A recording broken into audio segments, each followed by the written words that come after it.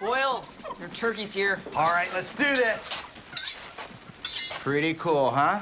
I feel like Dexter. I think. I never actually saw the show. Billboard gave me nightmares. Charles, are you crazy? No, I don't want to watch a living animal die and then consume its flesh. How is this different than eating a turkey that's been killed in a factory? Because I don't have to see that. It's called living in denial, you moron. Gina, I know it seems cruel, but it's a swift death. One painless chop removes the head. Mm, That doesn't sound so bad. And then its decapitated corpse only flops around for like a half an hour. You know what? You won't be able to go through with this if I give this little guy a name. He's now Nikolaj.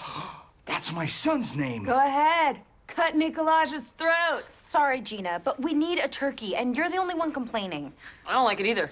It's not a fair fight.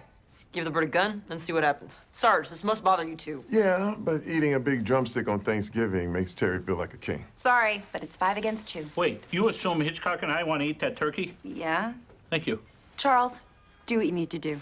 Copy that. Uh-uh, no, hold up. Rosa, get the bird. On it. I'll stand here and sacrifice my life to Charles's bloodlust. I'm not gonna kill you, Gina. Then you already lost. No, where are you going? Hey, you can run, but you can't hide. The apartment will run red with the blood of Nikolaj.